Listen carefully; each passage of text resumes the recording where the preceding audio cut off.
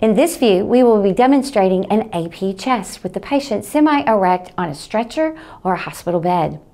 The head of the stretcher should be adjusted to place the patient's chest as erect as possible with a 72 inch source to image distance and the tube angled caudally to match the angle of the image receptor.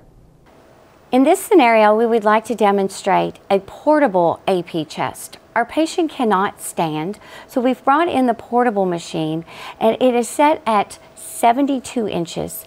It is perpendicular to the IR. We have a little bit of a caudad angle that makes it perpendicular to the sternum. We have centered an inch and a half to two inches above the level of her shoulders with the IR.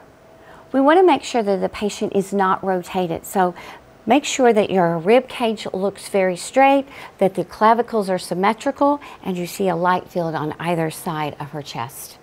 We have centered at the mid-sagittal plane and the sternum. We have a light field above the level of her shoulders on either side of her chest. We have a right marker indicating the right side. She's shielded and we're going to take the breathing instructions on second inspiration. A diagnostic portable AP chest radiograph should be free of motion and rotation. Include both lung apices, both costophrenic angles.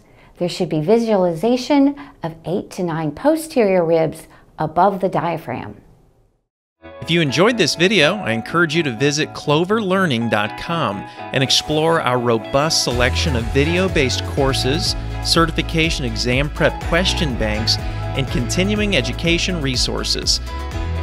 Lastly, please remember to hit the like button, subscribe, and turn on notifications so you can stay up to date on our latest videos.